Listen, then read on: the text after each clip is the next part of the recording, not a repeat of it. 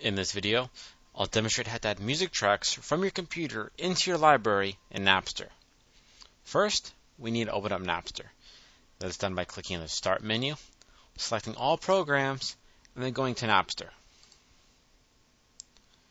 Once Napster is opened up, go ahead and sign into your account.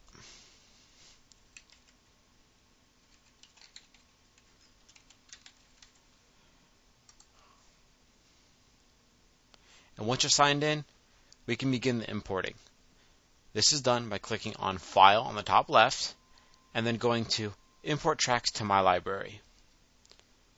Here we can specify the folder where our music files are located. Mine happens to be in the My Music folder and under Good Music. As you can see, my music files in that folder are all on the right hand side.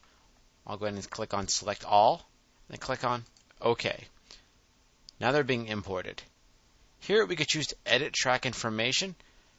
We'll go and click on Yes. And here you can edit the artist, the album, as well as the title of the songs. Once it's all been verified, click on OK. And the track information is now updated. Now, to go to our library, we have to click on the library button near the top right. Once here, we can see all of our music we've imported. On the left hand side, Go ahead and click on All Music. We can see all of our tracks. Or if you want to specify by artist, click on the plus next to artist, and then click on each one individually. This is how you import music tracks from your computer into Napster.